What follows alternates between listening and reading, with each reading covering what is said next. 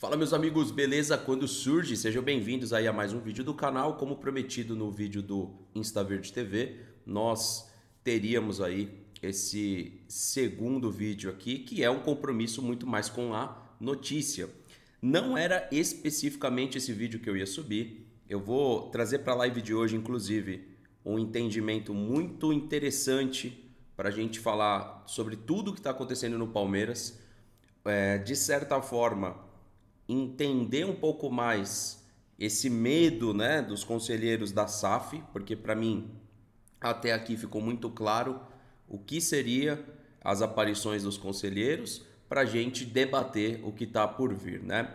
Hoje a Leila Pereira, inclusive, ela nas suas redes sociais, é importante mostrar aqui que veio das redes sociais da Leila Pereira uma notícia de acerto aqui. E aí, Abel, sabe que a sinceridade ela, ela é, fala maior aqui, né? Ela fala mais alto, né?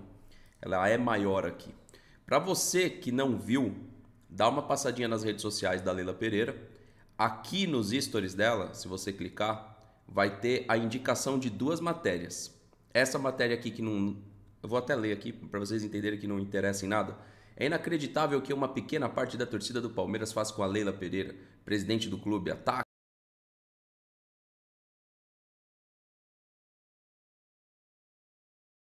gente, tá?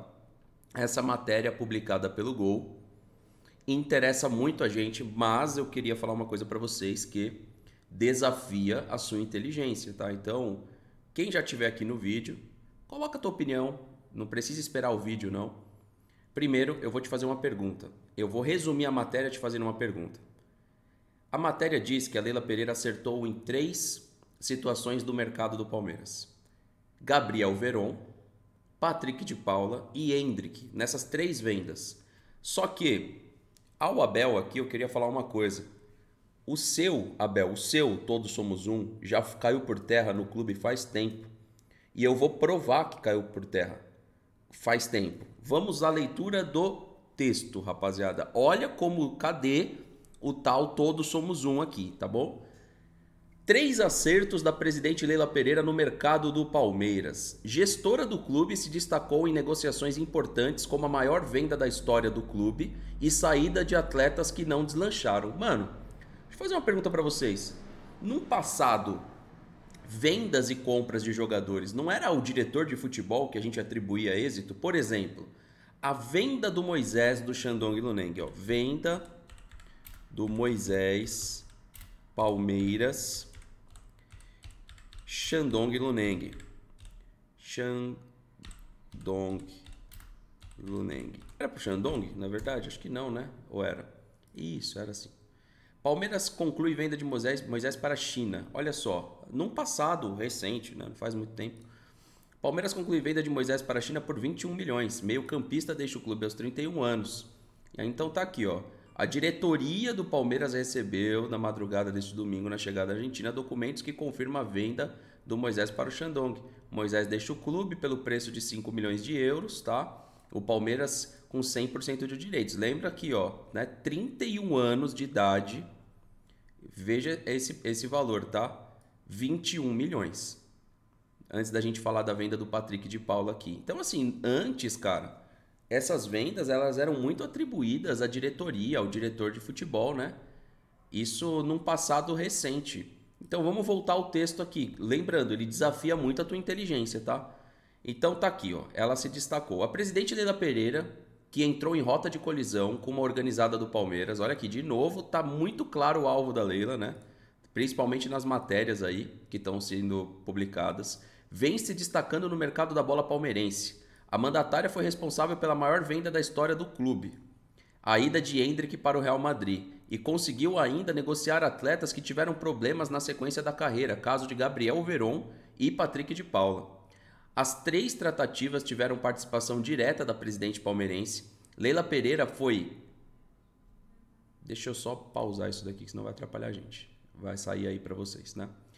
Aqui, ó.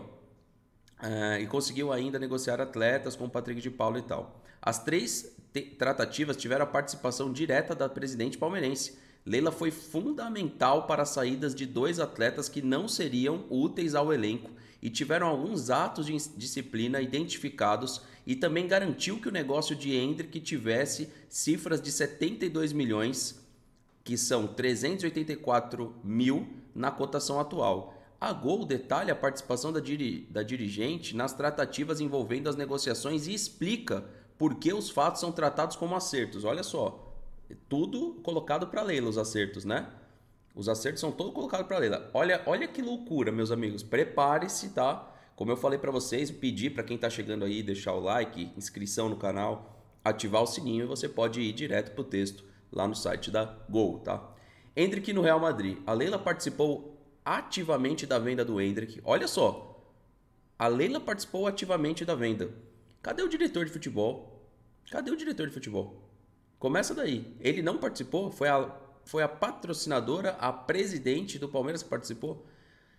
Foi a presidente do Palmeiras que negociou diretamente com os merengues e exigiu que o pagamento dos encargos fossem feitos aos espanhóis. Olha só.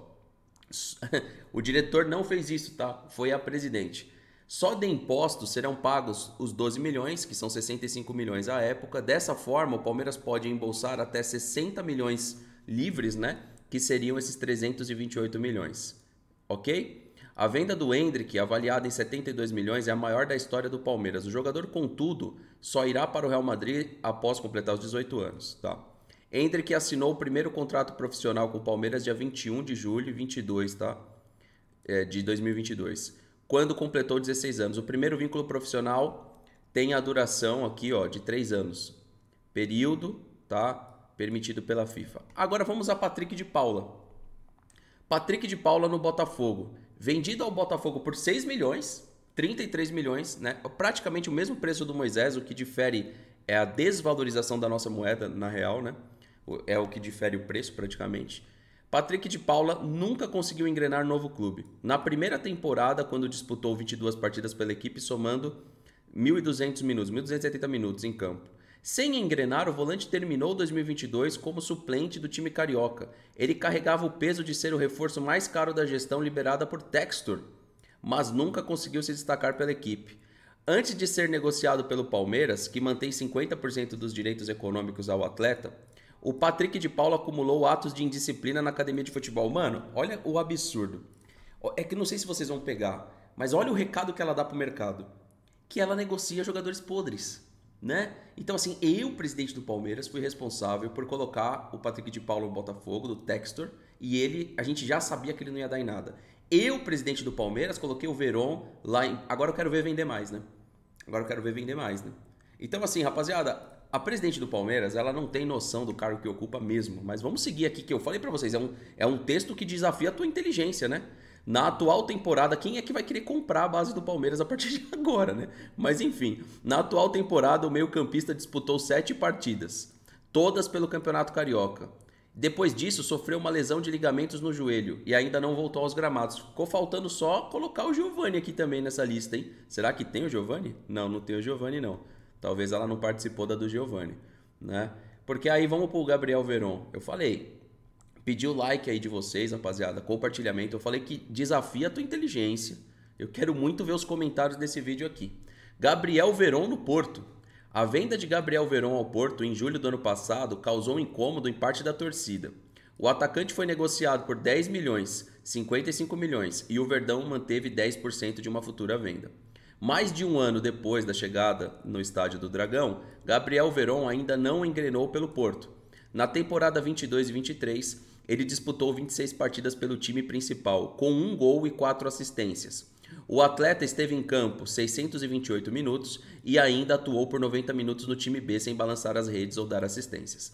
Ainda com problemas para se firmar no time principal, o atleta de 21 anos tem casos e problemas extra-campo relatados. Gabriel Veron fez apenas uma partida na atual temporada. O garoto esteve em campo pelo Porto B por 45 minutos. Ele não foi relacionado para um jogo sequer do time principal. Rapaziada, vocês pegaram aqui?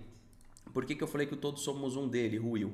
Porque, ao que tudo indica, não foi o Abel que identificou problemas no Veron, não foi o Abel que identificou problemas no Di Paula, foi a Leila.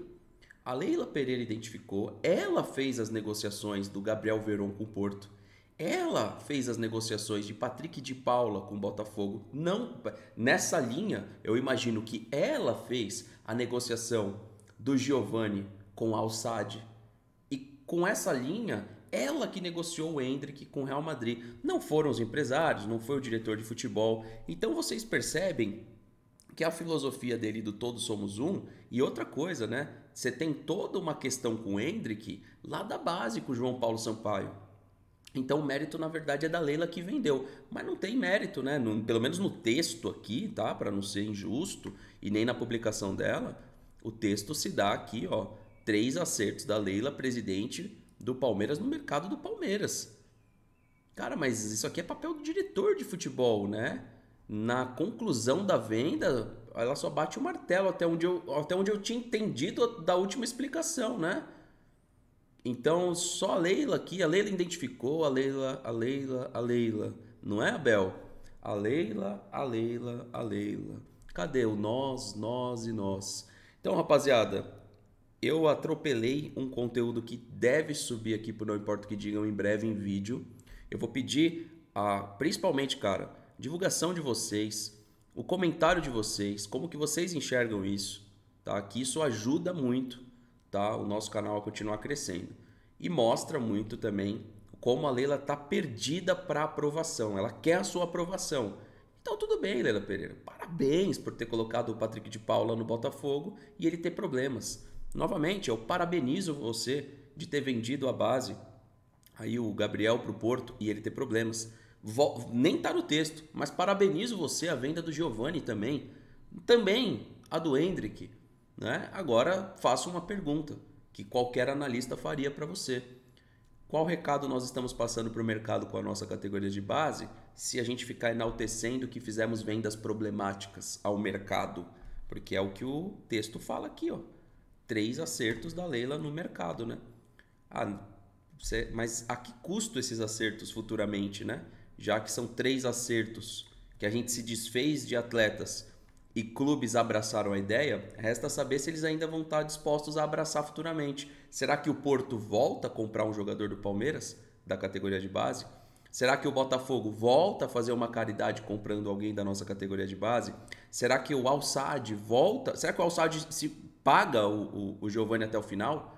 Será que pelo menos a gente recebe esse dinheiro até o final? Então, essas são as perguntas que eu deixo dos acertos que você teve no mercado de transferências do Palmeiras. Um avante palestra, tamo junto. Deixa aqui seu comentário, que é importantíssimo, tá? E me conta aqui se de repente você não torce pro Palmeiras, o Botafoguense que veio, sei lá, ou outro torcedor, tem acontecido no teu clube também esses acertos com os presidentes aí?